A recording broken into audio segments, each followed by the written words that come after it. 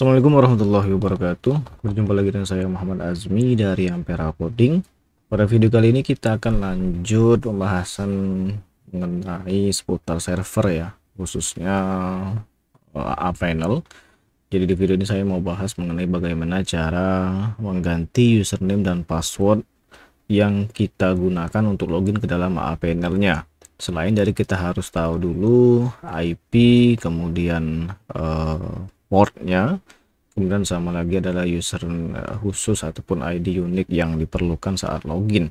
Nah caranya itu adalah kita langsung saja masuk ke menu settings ya. Nah saya anggap teman-teman sudah login ke panel yang masing-masing. Kita masuk ke halaman settings. Nah di sini nanti ada pilihan nih. Ada global panel setting security notification. Nah ini bisa kita buka sendiri atau bisa kita scroll saya dari global. Itu bisa di scroll sampai ke bawah Nah, kita bisa atur uh, untuk penggantian istilahnya uh, username dan password itu bisa kita atur ya. Jadi kalau kan uh, sebelumnya itu saya pakai username panel usernya yang ini nih. Nah, saya mau ganti nih. Mau ganti dengan uh, nama saya misalnya. Nah, kita bisa saja langsung dari di panel user ini klik set. Ini username-nya yang lama, kita abaikan saja.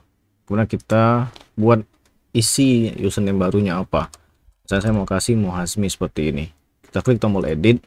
Di username center twice are not uh, inconsistent. Oh sorry. Ini kita perlu duplikat seperti ini. Oke jadi harus sama antara yang atas dengan yang bawah. Kemudian kita masukkan nih uh, username-nya. Kemudian passwordnya masukkan juga. Kemudian kita klik login. Oke udah berhasil login nih. Kemudian kita setting lagi. Kita ganti untuk yang passwordnya ya. Nah di sini ada yang namanya panel password. Nah kita tinggal set saja. Kita masukkan nih. Kalau seperti ini kan kita tampil nih. Nah kalau kita mau ganti karena kan uh, sebelumnya passwordnya itu adalah yang ini yang di panel saya yang lama. Kalau misalkan saya mau ganti misalnya password 123 seperti ini saja. Atau kita mau istilahnya di random kan generate otomatis seperti ini ya. Itu bisa juga. Misalkan saya mau kasih seperti ini Nah, kalau sudah kita klik tombol edit.